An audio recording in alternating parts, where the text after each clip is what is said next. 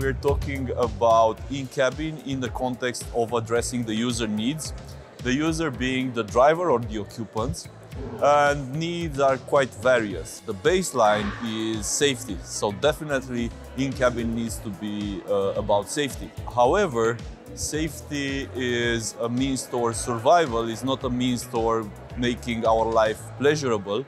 So definitely in-cabin is and must be about user experience as well. Today, the car is still a tool for us to take us to places where we want to go. Most of the time, our goal is not to be in the car, but we have no way around it, right? We have to get into the car to go places. Uh, this I believe with in-cabin sensing evolution will change and maybe the car will become a place where we would actually like to spend time, not just have to spend time. Third space is definitely a theoretical concept and we actually spend a bit of time to look at various thinkers from the world to understand what it could mean and what it would become in the car.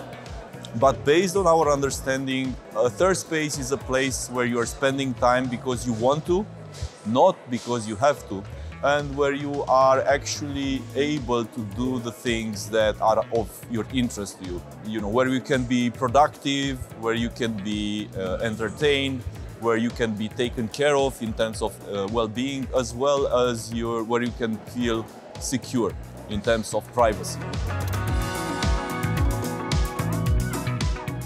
Are two things, two, two directions from which we can. Uh, uh, one which is maybe in our full control as uh, technology ecosystem around in-cabin sensing is to continue to focus on developing technologies that enable advanced use cases.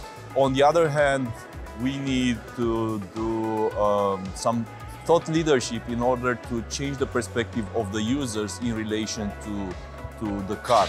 Uh, the car is still a utilitarian space and we need to think on how we can make it, as I mentioned previously, a space where uh, people will spend their time and enjoy spending their time there, either if they're on the move or if they have to, to stay in the car, either in traffic or in a charging situation and so on. In-cabin sensing will evolve in a number of distinct steps. As of today, uh, let's say the main driver is uh, safety and the regulations around safety. And this kind of puts pressure on the market to incorporate sensing technologies in the car and to look and to understand uh, advanced sensing algorithms and technologies.